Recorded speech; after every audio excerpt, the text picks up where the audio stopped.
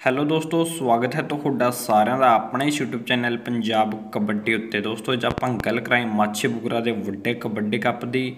ਅੱਜ ਇੱਥੇ ਦੋਸਤੋ 70 ਕਿਲੋ ਤੇ ਓਪਨ ਦੇ ਮੁਕਾਬਲੇ ਹੋਣਗੇ 70 ਦਾ ਫਸਟ ਇਨਾਮ 10000 ਅਤੇ ਸੈਕੰਡ 7100 ਰੁਪਏ ਹੋਵੇਗਾ ਅਤੇ ਓਪਨ ਦਾ ਫਸਟ ਇਨਾਮ 71000 ਅਤੇ ਸੈਕੰਡ 51000 ਰੁਪਏ ਹੋਵੇਗਾ। ਬੈਸਟਾਂ ਦੋਸਤੋ 21 21000 ਰੁਪਏ ਹੋਣਗੇ ਅਤੇ ਇਹ ਕਬੱਡੀ ਕੱਪ ਲਾਈਵ ਚੱਲੂਗਾ, ਕਬੱਡੀ 365 ਤੇ ਅਤੇ ਇੱਥੇ ਅੱਜ ਵੱਡੇ ਵੱਡੇ ਸੁਪਰਸਟਾਰ ਪਲੇਅਰ ਪੁੱਜਣਗੇ। ਜੇ ਸਾਨੂੰ ਦੋਸਤੋ ਟੀਮਾਂ ਤੇ ਪਲੇਅਰਾਂ ਬਾਰੇ ਪਤਾ ਚੱਲਦਾ ਤਾਂ ਤੁਹਾਨੂੰ ਕਮੈਂਟਾਂ ਦੇ ਵਿੱਚ ਦੱਸ ਦਿੱਤਾ ਜਾਵੇਗਾ। ਤਾਂ ਇਹ ਸੀ ਅੱਜ ਦੀ ਵੀਡੀਓ ਜੇਕਰ ਵਧੀਆ ਲੱਗੀ ਤਾਂ ਲਾਈਕ ਸ਼ੇਅਰ ਕਰੋ ਤੇ ਆਪਣੇ ਇਸ਼ੂ YouTube ਚੈਨਲ ਨੂੰ ਕਰੋ ਸਬਸਕ੍ਰਾਈਬ ਧੰਨਵਾਦ।